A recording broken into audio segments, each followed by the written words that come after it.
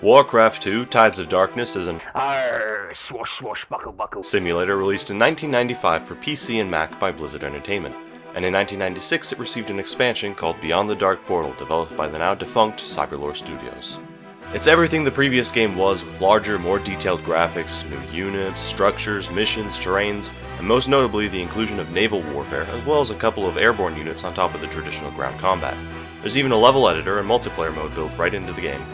The game has drastically been changed, and your strategy will have to change along with it to keep up with all the new elements you now have to keep in mind.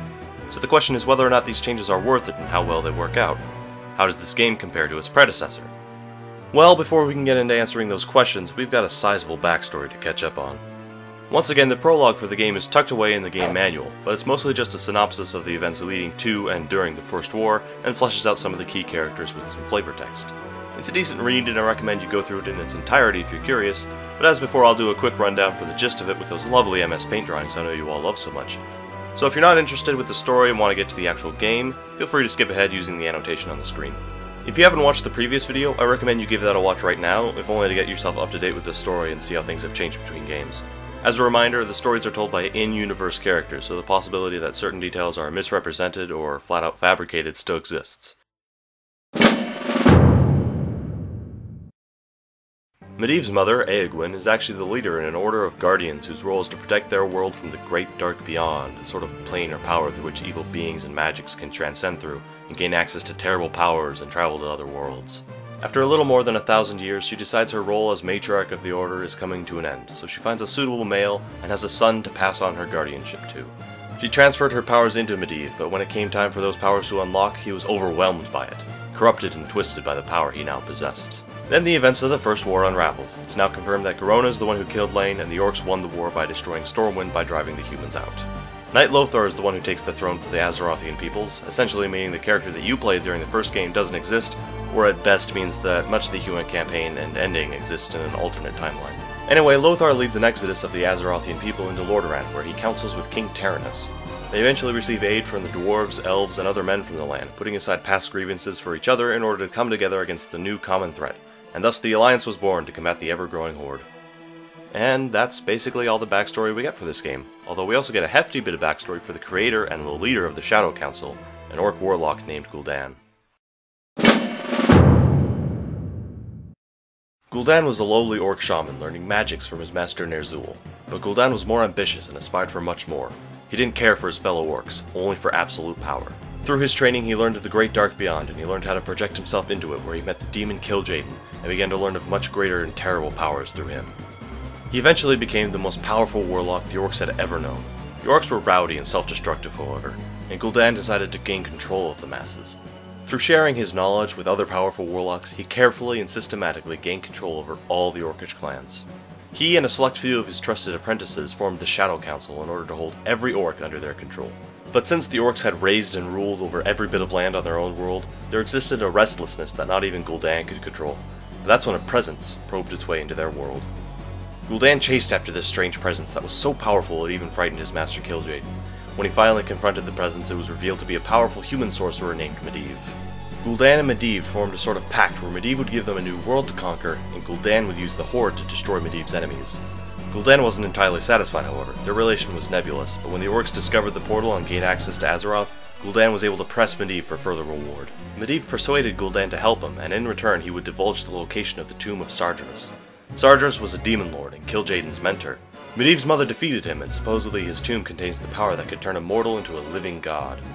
Gul'dan accepted, but as we all know, Medivh was slain and the location of the tomb was lost.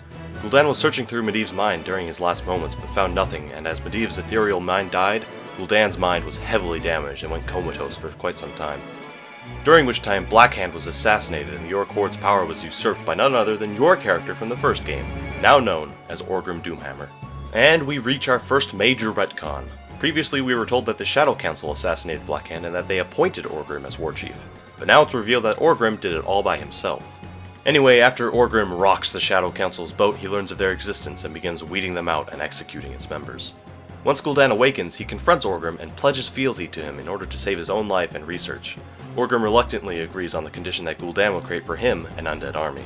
Gul'dan, along with the few remaining Necrolytes, begin working on creating that army to no avail. In a last-ditch effort, Gul'dan sacrificed every last one of his followers in order to channel their powers to raise the spirits and corpses of the Azeroth Knights, which he infused with the spirits of his followers, and thus the Death Knights were born. And so now Gul'dan bides his time serving Orgrim, waiting for his opportunity to regain his power and search for the Tomb of Sargeras. And that's that. There's actually a bit more story for the expansion, but I'll go into that when we reach that section of the review. Again, it's a neat story that adds some nice backstory to the characters and locations in the game and helps expand past and current events good, fun, solid fantasy narrative where you can explore if you want, but isn't strictly necessary to enjoy the game. Speaking of the game, how's about we finally dig into that? It begins with a short CG cinematic that basically boils the entire story down to the humans fled across the sea and the orcs are chasing them, because forget all that nonsense from before, reading is for pussies. Anyway, you are once again a nameless, low-ranking, invisible, omnipresent general figure, ordering your troops around to build a base and defend said base, while you rally the troops required to eliminate the enemy base, or accomplish some other similar objective. As with the last game, the further you progress in your campaign, the more units you and your enemy unlock. The big twist in this game, of course, being the naval combat, which I'll get into shortly. I think I can safely sum up this game as being more or less the same as the first game, just with more stuff added onto it and a fresh coat of paint. But there are a few things which have changed on a fundamental level. The first change being that you can select up to 9 units at once. It's maybe not as many as I wish it was, as sending an army to Zerg rush your opponent can still be quite finicky, but it is miles better than 4, that's for sure. The AI is still dumb as a post. They still have poor pathfinding and have difficulties figuring out which enemy they should be hitting, and it honestly feels like it's the exact same AI as the first game. They may have a few more features here and there, but by and large, moving and arranging units is a hassle if you want any sort of precision. The Fog of War is present once again, only this time it's accompanied by a second fog, which lets you see the terrain, but not any enemy units. This semi-fog appears when you've explored an area, but none of your units can see what's over there anymore, which adds a bit of realism and uncertainty to the map. You can turn it off if you want, which is what I did, because this game can be tricky enough without it, and you can save resources by not having to scout out every location all the time. Base building has remained mostly the same, you still need to send your peons or peasants to collect resources in order to finance buildings and additional units. In the first game, however, all the buildings had to be connected by a road, but in this game, roads have been removed completely, which is a change I very much welcome since it allows for an easier and more tactical advantage to how you build your base. Your only restrictions are the areas of land which can't be built upon, like mud or shorelines, and since you're no longer constrained to a tiny corner of the map, it makes the additional gold mines actually worth a damn. Walls are removed as well. Uh, sort of. Walls still exist, you'll often see your enemy barricaded behind them, or using them to hold some of your units hostage, but neither you or your enemy can actually build them.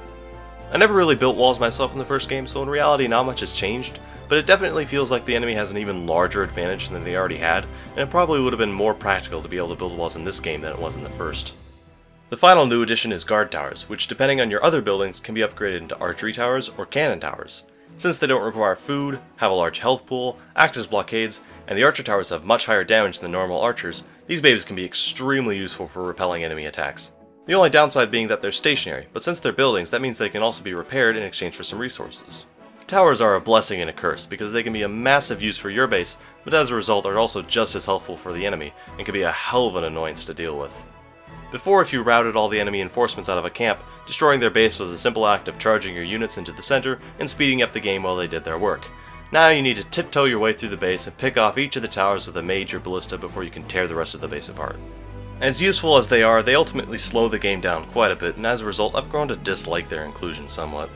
Other than those few changes, base building is the exact same as it was before, using buildings to make new units available as well as researching methods to strengthen and unlock different attacks. However, upon the open seas is a new resource which you'll have to extract as well if you want to finance the building of ships. This new resource is oil, and you'll have to build an oil platform before you're able to extract it. Oil is used for purchasing other ships, buildings, and researching stronger attacks, so it's just as precious and necessary as the other resources on the missions that include a naval element. Apart from oil platforms, any nautical related buildings, of which there are three, need to be constructed along the coastline, but apart from that they function the exact same as their earthen counterparts. If you wanted to get your land units across a body of water, you'd have to build a transport ship which can carry up to 6 units, and if it gets sunk, everyone on board will drown with it. The other ships involve a standard type warship, a slower but beefier warship, and a stealthy submarine that can avoid detection from the other two ships and must be spotted by an aerial type unit or an enemy sub before it can be attacked. The light ships can attack aerial units, but apart from that the ships are only good for attacking other ships and for cleaning up coastlines for your ground units to land on. The utility of the ships are fairly dull in comparison to the wide array of ground units you're given access to, and in some ways they feel like a dumbed down version of the game as a whole. There's only one unique resource and three ships that can attack each other. Supplementing your gold and lumber to finance your navy more often than not feels like a waste of resources since you've also got to worry about your land base. In a perfect world, the boats would split your attention so that you have to focus on preserving and growing your naval and land base, but in reality they just add more steps between your base and the enemy's, which is more often than not the main objective. Once you've decimated the enemy's naval capabilities, you've pretty much won, but this is still Warcraft and you still need to pump more time and more resources into building and carrying an army to wipe out the enemy base. And once your ships have outlived their usefulness, there's no way to get the resources you've sunk into them back. They just sit out there in the open seas, completely ineffective. The best you could hope for is to lure the enemies toward the coast, but that's hardly ever necessary. Quite frankly, if you couldn't tell already, I'm not really a big fan of the boats. They feel like they pad out each mission, and the sea just feels like it keeps getting in your way. One small body of water could mean you have to build up to three additional buildings and up to two non-combative units just to get across, all the while spending precious gold and lumber that could have gone elsewhere. Forgive the pun, but there's almost no depth to the naval warfare. It's never very difficult to combat the enemy since they're always spread out and all you need to do is build up a fleet and steamroll them one by one. I should mention that the boats can be and are used effectively in some missions, and I'll touch on that a bit later. With a large focus and reliance on them in the base game, it's just a tedious bore and hardly adds much of anything to the game that couldn't have been done in a similar manner with the previously established systems. But let's move away from the boats for now. There's once again a human and an orc campaign, and as before, each faction shares the same units with slight alterations to some stats and abilities. For example, elf archers can unlock an ability which adds plus 3 damage, but the troll archers can unlock a passive but slow heal over time. Each campaign is structured the same way, in that you will progressively unlock more units as you complete each level, but the missions themselves aren't quite as similar to each other anymore. So the first few missions of each campaign are still fairly parallel to each other, but as each story arc progresses, the missions tend to get a bit more unique and varied, unlike the first game when they were just mirrors of each other, and the campaigns have more of an identity than they did before. I actually prefer the human campaign since it has fewer naval missions and a more diverse range of scenarios than the orc campaign, and I would recommend playing that one first if you ever decide to give this game a try. The campaigns also have a very smooth difficulty curve, and thanks to all the new additional units you have to keep in mind, the difficulty has gone up overall, and you'll find yourself with a decent challenge for the final few levels. Though some missions seem to feel like they rely on you getting lucky enough for the enemy AI to break and get all their forces stuck behind some trees or something, or forget about your presence entirely. But aside from the clunky maritime warfare, it's all still Warcraft, and the missions that don't include boats are still some of the most enjoyable in the series so far. The one thing the seas do help to bring to the table is a more creative level design, in the first game, if you controls the bridges, you controls the universe. But now the levels are much bigger and more open, and any land bridges there are will rarely give you any advantage for holding them. The audio quality has gotten a much needed boost. There are multiple voice actors and sound effects for each of the units now that each faction consists of multiple races. And of course, each type of unit has a different annoyance dialogue if you click on them enough. What? Ew, that tickles. Hated it, oh, hated it. Say hello to my little friend. Don't force me to run you through. Are you still touching me? Even elder races get tired of waiting. Stop rocking the boat. You're making me seasick. I forgot to mention the critters earlier, they only serve as watering scenery, but there's a neat little easter egg if you click on them a bunch too.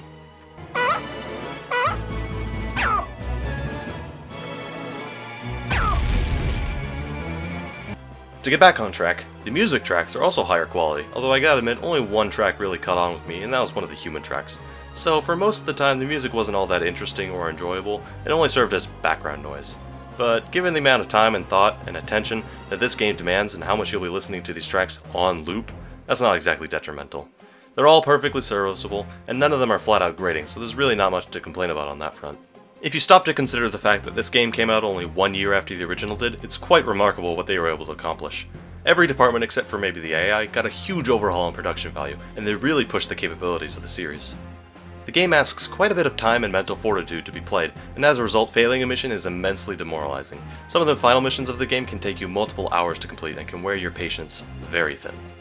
Though that may be because of my playstyle. I usually like to take the time to hunker down in one position, gathering as large an army as possible, and then slowly marching forward in a manner that mitigates losses as much as possible, and I have trouble focusing on more than one or two things at a time. Quite honestly, it's the boats that ruin the game for me the most. They make most missions therein needlessly tedious and annoying, especially when you have to fly around the whole map looking for that one submarine you missed, or there's a griffin camping out on the only oil spot and there's not jack shit you can do about it. But again, any missions without boats, or at least a minimal focus on them, are really quite enjoyable, even if some of them require quite a heavy time investment. But that's why God invented save states. And hey, with the level editor, you can make as many scenarios as you want to suit your preferred playstyle, and an online element with a community that still has active members to this day can definitely keep you coming back for more. So that's the gameplay. But what about the events of Warcraft 2? What stories to be told between these campaigns? Well, I'll tell you. First, I'll remind you that the orcs destroyed Stormwind, and the humans have fled across the sea, with the orcs chasing after them. Bear in mind, these are just simple summations. If you want to hear the mission briefings in their entirety, then you can watch a compilation I made here. If you also just want to skip the story entirely, you can go ahead and click on this timecode. Anyway, these are the events of what is known as the Second War.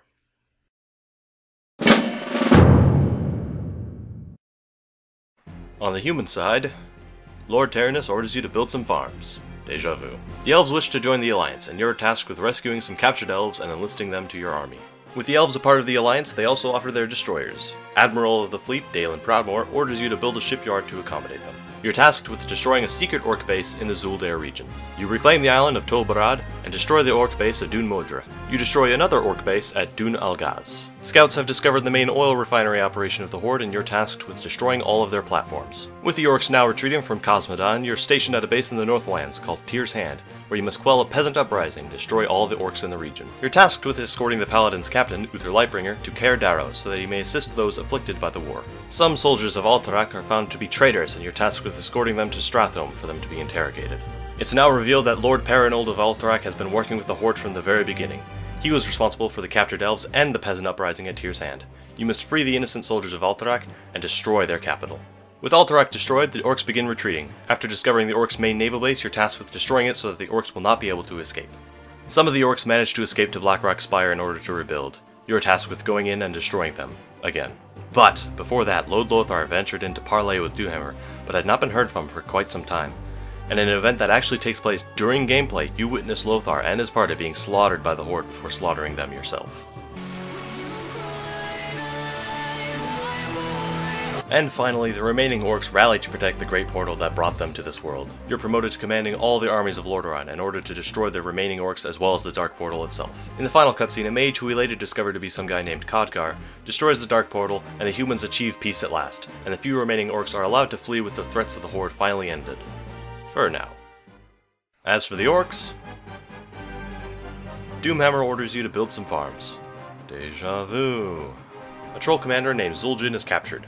You're tasked with rescuing him to put the trolls in your debt. Zul'jin offers some destroyers, and you're now tasked with building some oil platforms. With your new toys, you're tasked with destroying the human settlement of Hillsbrad to show your dominance.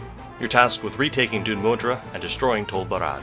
An ogre mage named Cho'Gall comes to inspect your refineries. You're tasked with escorting him through Khaz Modan safely. With the inspection a success, you're tasked with destroying the human city of Stromgarde. Gul'dan desires the use of an elven artifact known as the Runestone.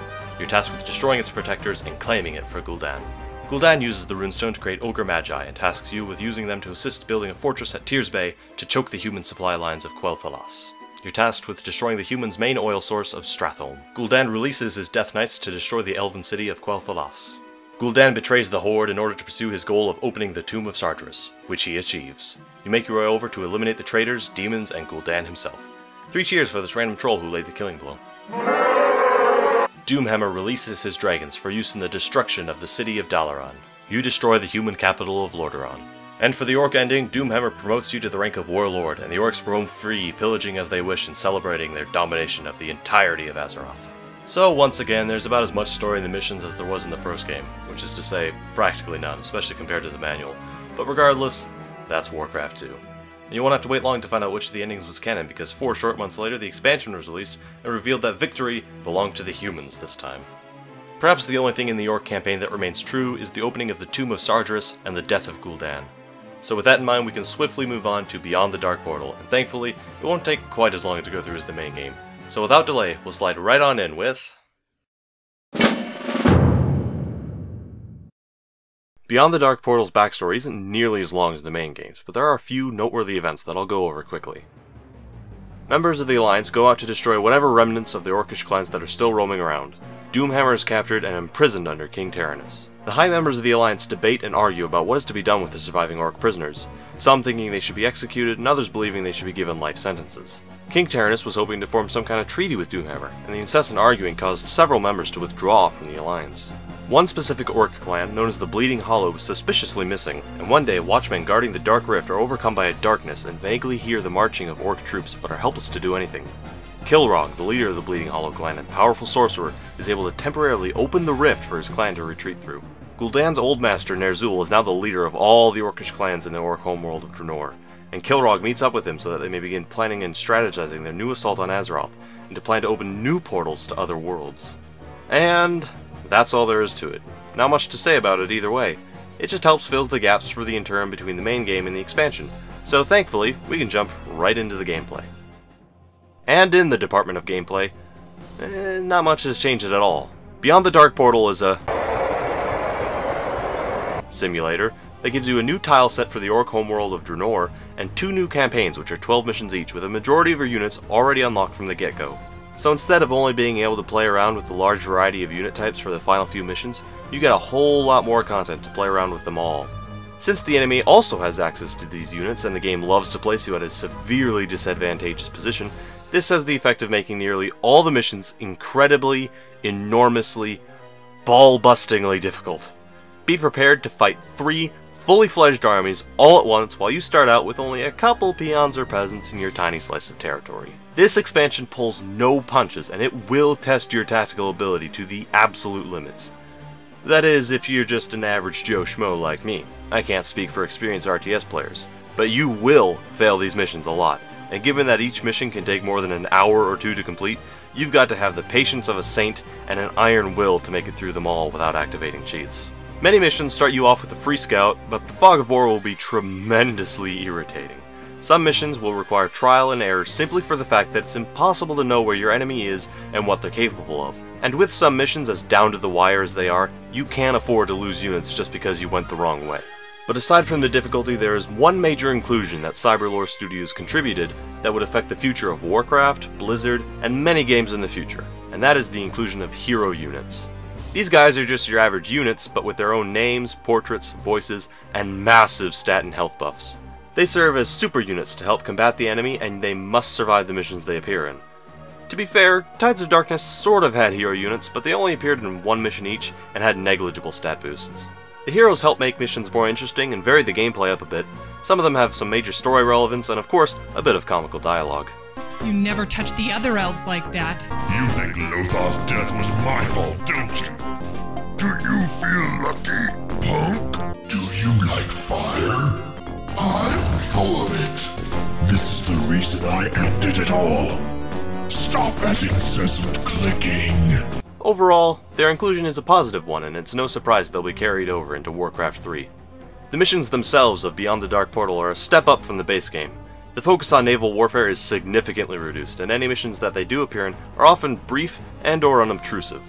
These are the kind of uses from the boats that I actually really enjoyed, like this one where you're at the beginning and you need to blitz the enemy and set up a base as quickly and efficiently as possible, and once they're destroyed, you can sink your own boats for food, safe in the knowledge that you won't need them anymore, and it didn't cost you anything because the mission starts you off with them. Now, you've still got a couple traditional naval-based levels, and there are a lot more missions that take on a lot more classical design. But many more missions feature unique objectives such as destroying one enemy or a building in particular, or merely making your way to a specific location without dying. The expansion builds on the base game in a worthwhile manner, with some really neat and enjoyable additions and missions. However, due to its strenuous difficulty, I would not recommend it unless you're up for a serious challenge. The base game will sate your Warcraft thirst just fine and offer up a decent challenge to boot. And well, there's really not all that much more to say about it, honestly. It mostly feels like what would happen if the main game just kept on going, and while I'm not such a big fan of the difficulty and the time investment that some of the missions pose, I can imagine veterans of the genre could find something to appreciate about it, and some of the levels are genuinely enjoyable despite their difficulty. So now I'll just go over the mission stories, and then we'll get this video wrapped up. So first off, both campaigns start off with a cinematic of Khadgar destroying the Dark Portal, but there's an additional scene where it's revealed that while the portal is destroyed, the rift connecting the two worlds still remains. That's how Kilrogg and his men escaped back to Draenor. Once again, if you want to skip this part, or view the full mission briefings, just follow the link on the screen or in the description. With that out of the way, we'll start with the orcs this time.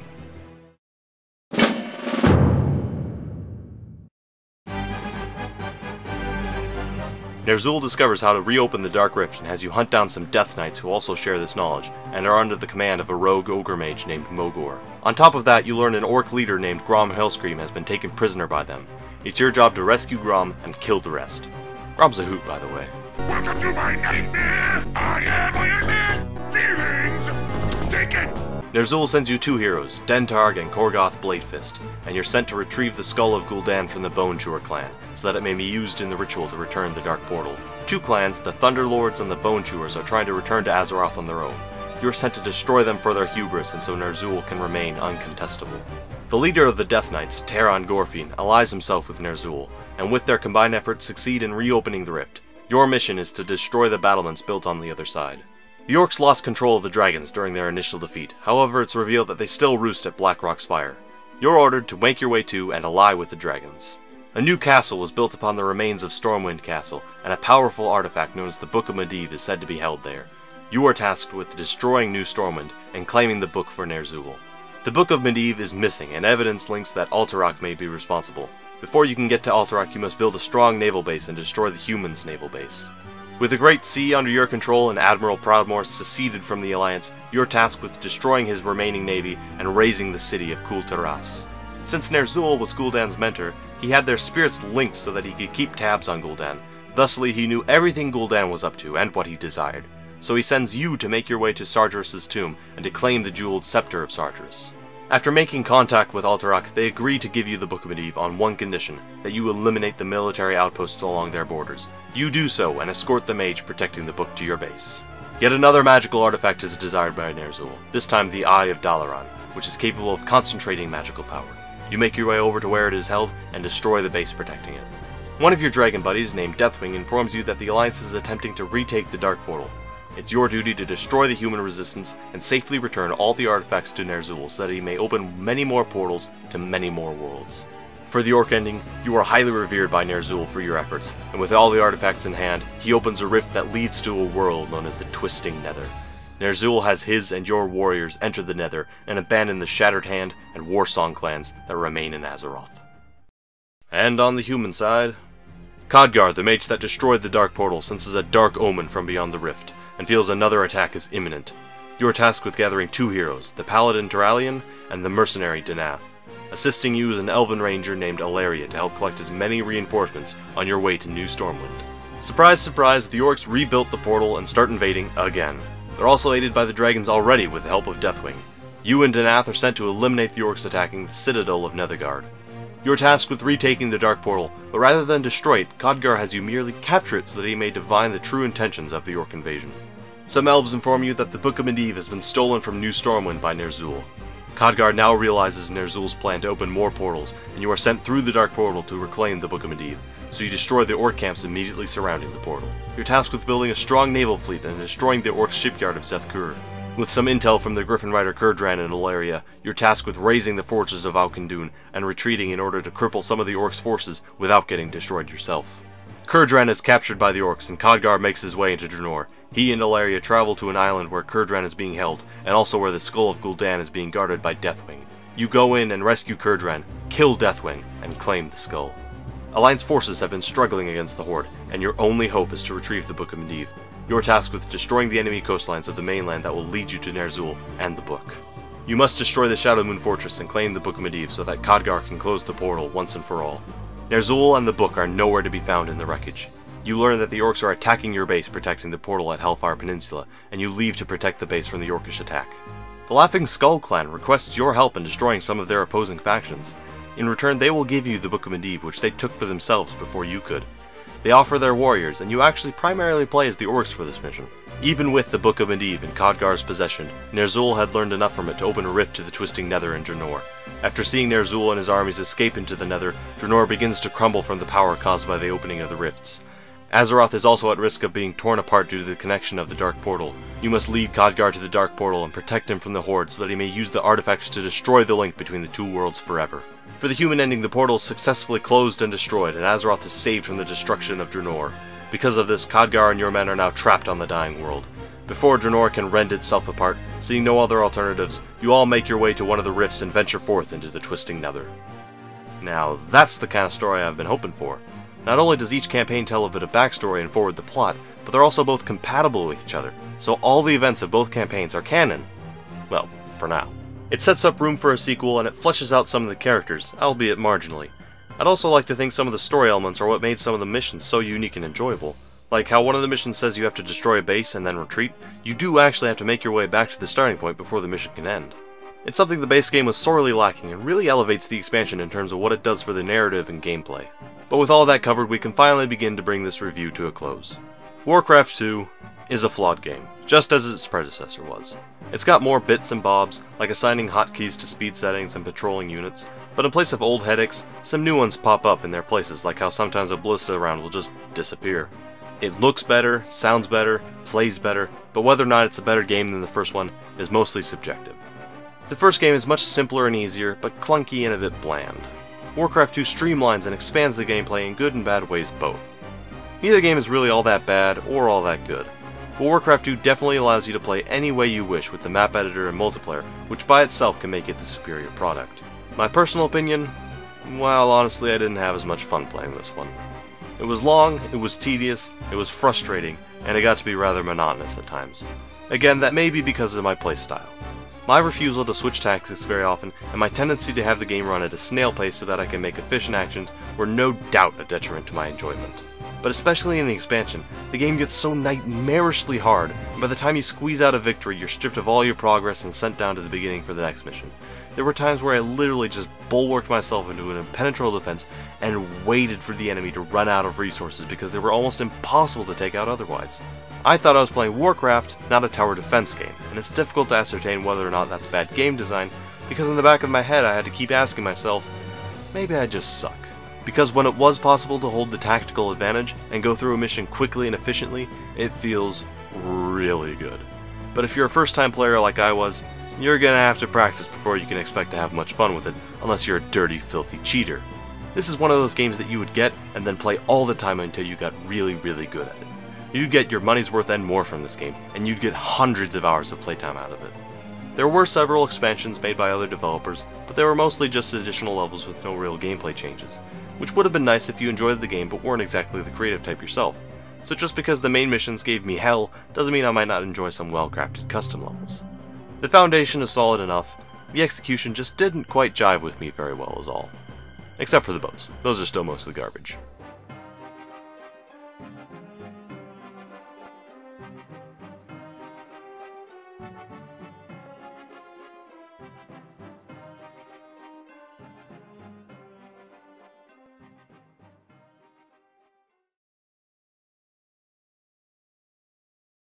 Oh yeah, that's right. I, um, play Warcraft 2.